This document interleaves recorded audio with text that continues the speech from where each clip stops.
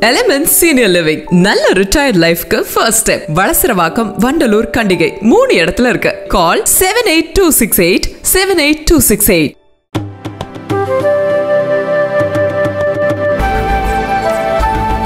சர்வதேச முதலீட்டாளர்கள் இந்தியாவை நோக்கி வருவதாக பிரதமர் மோடி தெரிவித்துள்ளார். தொழில்துறை கூட்டமைப்பு ஏற்பாடு செய்த நிகழ்ச்சியில் பிரதமர் மோடி பங்கேற்றார். அங்கு பேசிய அவர் சர்வதேச அளவில் நிலையற்ற சூழ்நிலையில் மத்தியிலும் நம்பிக்கைக்கான ஒளி விளக்காக இந்தியா திகழ்கிறது.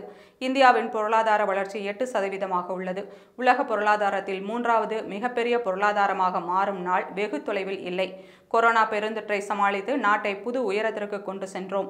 சர்வதேச பொருளாதாரத்தில் பதினாறு சதவீதம் இந்தியாவுடையது. உலக உலகளவில் அதிக வளர்ச்சி குறைந்த பணவீக்கம் கொண்ட நாடு இந்தியா மட்டுமே. மூன்று டிரில்லியன் பொருளாதாரத்தை நோக்கி முன்னேறி வருகிறோம். தினமும் புதிய மைல்கல்லை இந்தியா எட்டுகிறது. சிறு குறு நடுத்தர தொழிலுக்கு பட்ஜெட்டில் ஊக்கம் அளிக்கப்பட்டுள்ளது. இந்த பத்து ஆண்டுகளில் இந்தியா பட்ஜெட்டும் மூன்று மடங்கு அதிகரித்து நாற்பத்தி எட்டு லட்சம் கோடி ரூபாயாக உள்ளது. இரண்டாயிரத்தி நான்கில் காங்கிரசின் ஐக்கிய முற்போக்கு கூட்டணி அரசு முதல் பட்ஜெட்டை தாக்கல் செய்த போது மூலதன செலவு தொண்ணூறாயிரம் கோடி ரூபாயாக இருந்தது.